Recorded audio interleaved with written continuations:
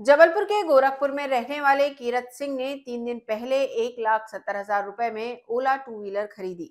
गाड़ी खरीदे हुए अभी तीरथ सिंह को तीन दिन ही हुए थे कि उसमें परेशानी आने लगी। तीरथ सिंह गाड़ी लेकर कंपनी पहुँचे तो उन्होंने साफ़ मना कर दिया कि गाड़ी को ठीक किया जाएगा, ना कि बदला जाएगा। परेशान होकर गाड़ी मालिक ने ओमती थाने में कंपनी के खिलाफ शिकायत दर्ज करवाई है। पुलिस का कहना है कि कंपनी के मैनेजर से बात की जा रही है। कीरत सिंह ने बताया कि ओला एस वन प्रो चार माह पहले अगस्त में बुक करवाई थी। एडवांस में ही गाड़ी की कीमत एक लाख सत्तर हज़ार रुपए कंपनी को दे दिए गए। मंगलवार को नेपियर टाउन स्थित ओला कंपनी से गाड़ी ली। थोड़ी ही दूर गाड़ी चली कि उसमें आवाज़ें आने लगी। तो मैंने फ़ोन लगाया। इस पर कंपनी वालों का कहना था कि कुछ देर बाद आवाज़ आना बंद हो जाएगी। कंपनी वालों की बात मानते हुए गौरीघाट चला गया, जहाँ पर गाड़ी बंद हो गई। ओला को स्टार्ट करने की बहुत कोशिश की, पर वह चालू नहीं हुई। कंपनी वालों को फिर फ़ोन लगाया तो उनका कहना था कि रीबूट कर दो, गाड़ी स्टार्ट हो जाएगी, पर ऐसा नहीं हुआ। जैसे तैसे गाड़ी को घर तक ले गया। गोरखपुर निवासी कीरत सिंह ने घर जाकर कंपनी वालों को कॉल किया तो उनका कहना था कि पाँच रुपए लगते हैं। कंपनी के मैकेनिक घर आकर गाड़ी ले जाते हैं। इस पर तीरथ सिंह का कहना था कि तीन दिन पहले ही एक लाख सत्तर हज़ार रुपए देकर ओला गाड़ी खरीदी है। इसके बाद भी पाँच सौ नब्बे रुपए क्यों दे? तीरथ सिंह गाड़ी लेकर कंपनी पहुँचे जहाँ उनकी गाड़ी को मैकेनिक ने खोल डाला, लेकिन वह ठीक नहीं हुई। कंपनी वालों ने गाड़ी का पहले फ्यूज खोला, नया लगाया, पर गाड़ी स्टार्ट नहीं हुई। इसके बाद गाड़ी का हेड खोला, गाड़ी स्टार्ट नहीं हुई। इसके बाद कंपनी के मैकेनिक ने गाड़ी के तार खोलकर ठीक किए, फिर भी ठीक नहीं हुई। परेशान कीरत सिंह ने ओमती थाने में शिकायत दर्ज करवाई है। सिर्फ़ तीन दिन पहले ही एक लाख सत्तर हज़ार रुपए में खरीदी गई गाड़ी खराब हो गई। इस मामले पर कंपनी के MP CG executive Vinay Verma से टेलीफोन पर बात की गई। तो उनका कहना था कि गाड़ी में जो भी समस्या होगी, उसे बनाकर दिया जाएगा, पर गाड़ी खरीदने वाले कीरत सिंह कंपनी में गाड़ी छोड़ने को तैयार नहीं है।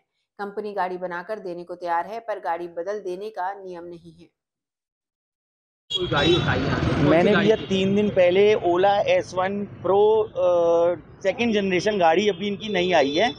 मैंने अभी गाड़ी उठाई तीन दिन पहले। एक्चुअली मैं पे, पेमेंट मैंने इनको कर दी थी अगस्त में। अगस्त में पेमेंट करी हुई थी एक लाख तीस सत्तर हज़ार एक लाख सत्तर हज़ार।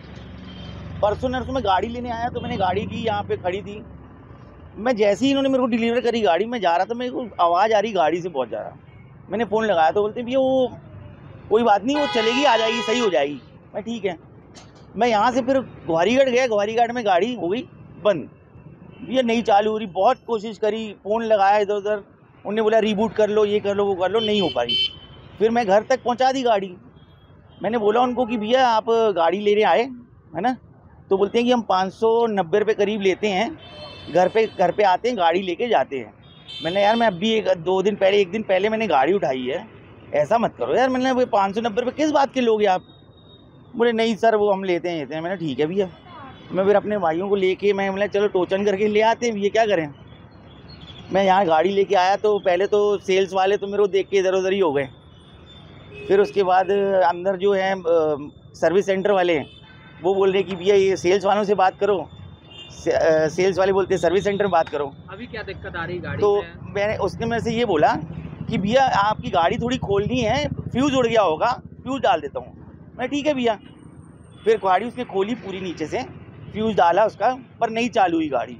फिर मेरे को बोलते हैं कि सर इसका हेड सामने का जो वो खुलेगा उसमें कुछ तारवा डीली होगी।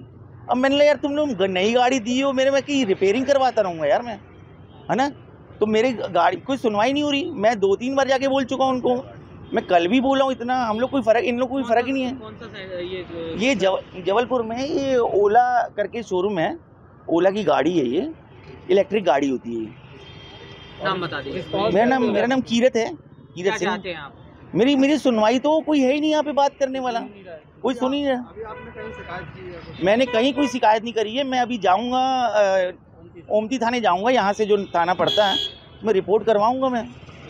क्योंकि मैं तो पूरे साहब पैसे दिया हूँ मैं तो अपना करूँगा ना